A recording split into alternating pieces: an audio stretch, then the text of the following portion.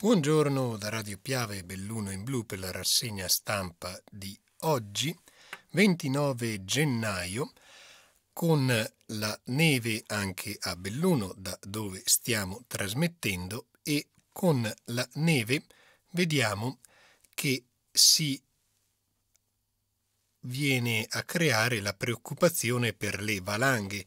Quanto vi sto mostrando a video, naturalmente per chi ci sta seguendo su Facebook, ci parla dei sindaci convocati dal prefetto domani il vertice con i comuni per valutare il rischio. Questa è la prima pagina del Gazzettino, ora la vediamo intera anche con gli altri argomenti di cui pure parleremo.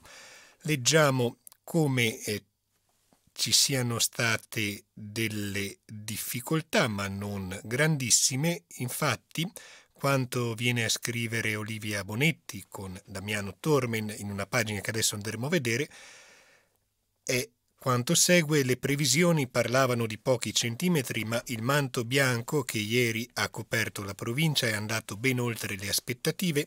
In città siamo arrivati ai 15 centimetri e il record è toccato a Oronzo con 25 centimetri. Ma nonostante le previsioni avessero sottostimato il fenomeno, non ci sono stati disagi sulle strade o incidenti con feriti.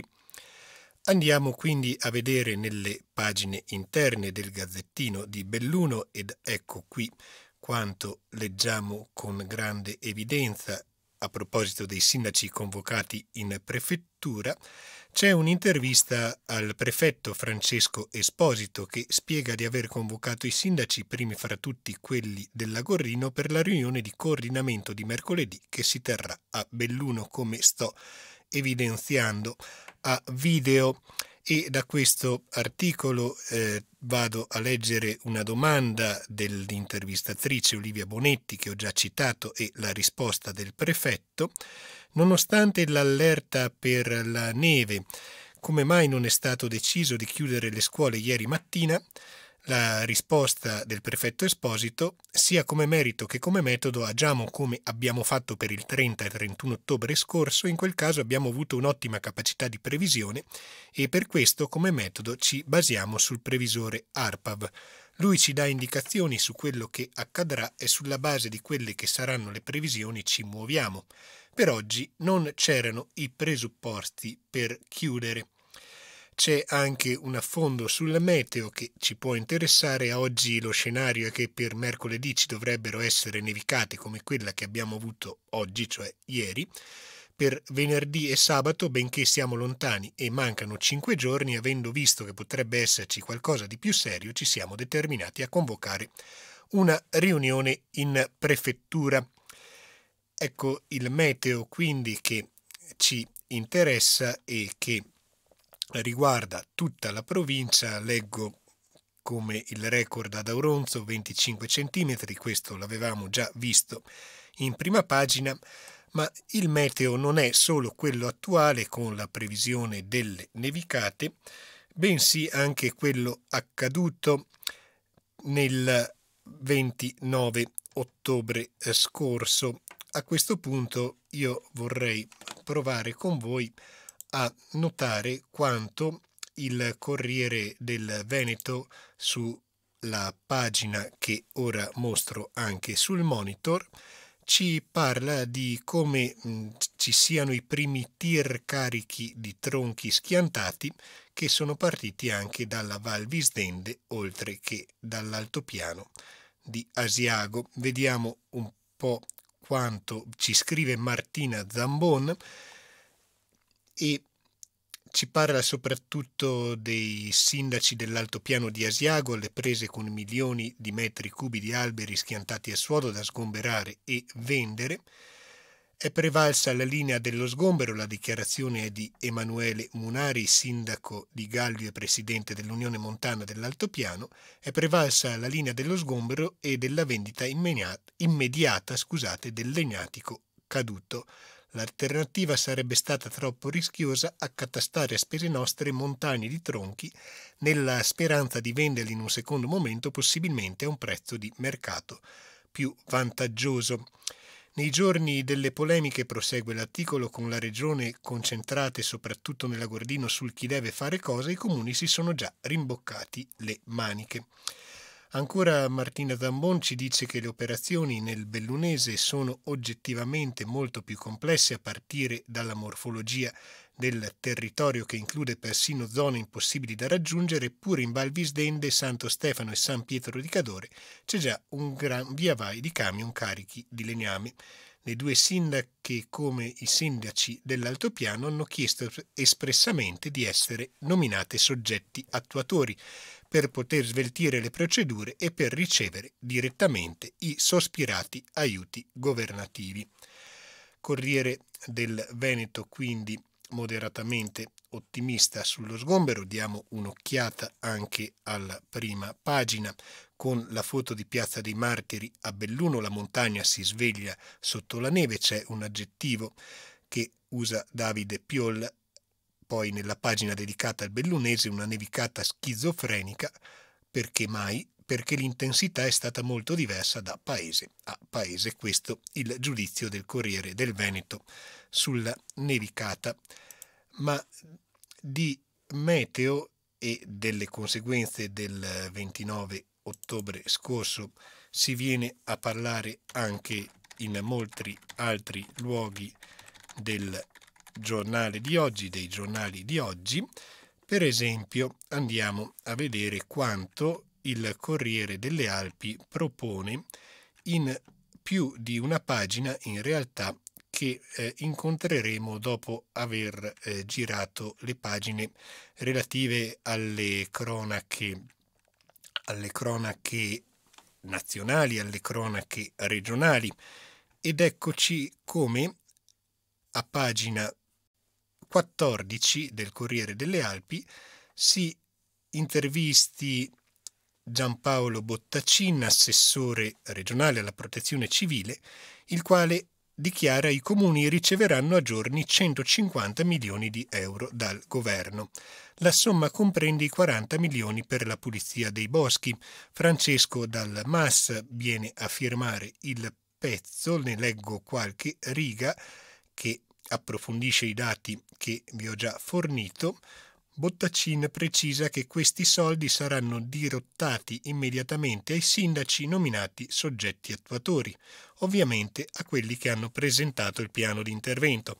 Bisognerà aspettare invece ancora qualche settimana per disporre di una gran parte, forse addirittura un miliardo di quei 2,4 miliardi previsti nella manovra finanziaria per le opere di messa in sicurezza Fonti romane molto accreditate danno per probabile uno stanziamento destinato al Veneto tra i 900 milioni e il miliardo. Il resto sarebbe suddiviso tra le altre 10 regioni che hanno patito danni il 28 ottobre. All'elenco potrebbe aggiungersi, scrive ancora dal MAS, qualche altra realtà colpita da particolari calamità naturali nel 2018. Leggo anche da questa pagina come da Santo Stefano a Pieve di Cadore prosegua il lavoro della neve, le ditte specializzate forestali non si sono fermate essendo in una fase intensa, molti i lotti di tronchi bonificati e già venduti sul mercato.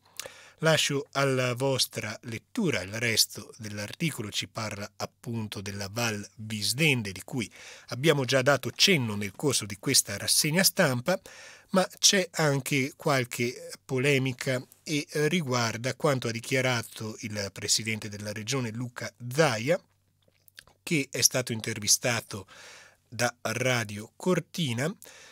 Di che si tratta? Beh, leggerò solo una dichiarazione di Zaia. Abbiamo 28.000 ettari di bosco a terra che non si ripuliscono con la bacchetta magica e tantomeno con le polemiche, io fino dal primo giorno ho detto se ci sono i sindaci che vogliono fare i soggetti attuatori, ovvero vogliono governarne il processo all'interno dei confini comunali ed essere loro i padroni del vapore, ovviamente con le risorse che il commissario gira, ce lo dicano.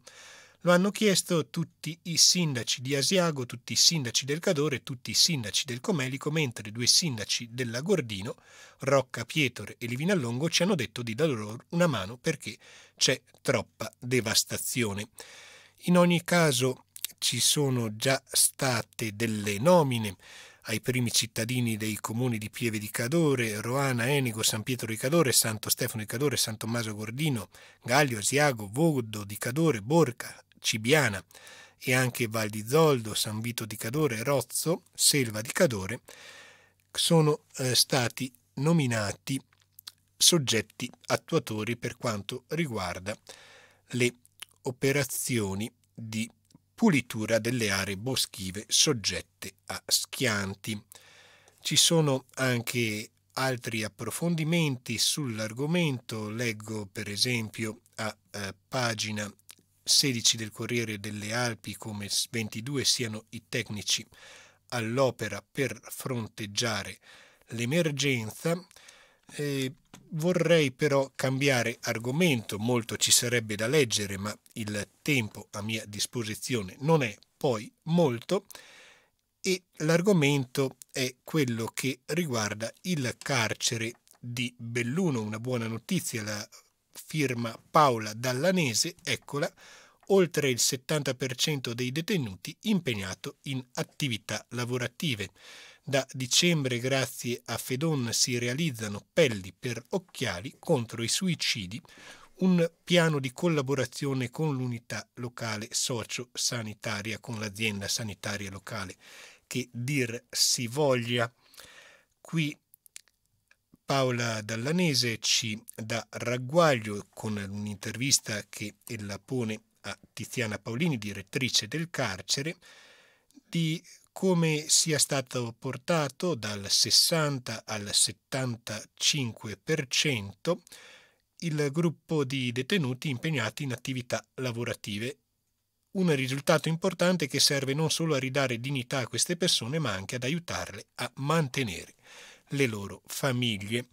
La realtà del carcere è una realtà su cui non va abbassata l'attenzione per un reinserimento attivo nella eh, società e qui vorrei parlare a proposito di eh, solidarietà anche di un fatto increscioso che come ricorderemo tutti ha, ricorda, ha scusate, riguardato la nostra città, la morte di Giancarlo Bigi, il clochard di Levego non è ancora stata fissata la data dei funerali, come eh, vediamo da quanto scrive Alessia Forzin sulla stessa pagina del Corriere delle Alpi, ma i volontari della PAC accudiranno i cani che vivevano con Bigi. Il motivo del funerale rinviato, leggo è perché la Procura sta aspettando i risultati del DNA necessari per avere la certezza che l'uomo ritrovato sia proprio Giancarlo Bigi per dare il via libera alla celebrazione del funerale. Restiamo ancora sul Corriere delle Alpi, ma brevemente andiamo a vedere quanto ci scrive ancora Francesco Dalmas eh, e stiamo parlando di boschi, ma in maniera più positiva si parla di un patrimonio UNESCO, la Regione avvia la procedura per il Consiglio. Lo chiedono gli ambientalisti da vent'anni ora si apre uno spiraglio. Verifiche già avviate secondo Giampaolo Bottaccini abbiamo interpellato gli esperti. Eccoci ora quindi nelle ultime battute del nostro incontro e vorrei che le dedicassimo all'approfondimento del tema dello spopolamento. C'è una iniziativa che ci viene descritta eh, dal Gazzettino e ci sto arrivando dopo aver sfogliato le eh, prime pagine. Ecco qui sgravi fiscali e contributi contro lo spopolamento, Damiano Tormen è la firma, leggo qualche riga di questo pezzo dal Gazzettino di Belluno, Ronce, Tassei e Pian del Monte tornano alla carica, studiano il modo di evitare l'abbandono della montagna bellunese, ecco perché le tre frazioni alte con l'impegno del gruppo di azione locale Belluno Alpina stanno mettendo a punto un piccolo progetto per agevolare la vita di chi ha scelto di rimanere in quota, magari anche per attrarre aziende agricole e turisti. Ora la relazione sarà illustrata il 28 febbraio, non metteremo certamente a tacere quanto si fa anche a un livello che non è quello dell'amministrazione o addirittura della politica, ma è un'iniziativa popolare che pure merita attenzione. Il mio tempo è scaduto, quindi con eh, il saluto, con l'augurio di una buona giornata sulle frequenze di Radio Piave Belluno in Blu e l'invito a seguirci con gli aggiornamenti su Facebook, vi lascio con l'augurio di una buonissima giornata.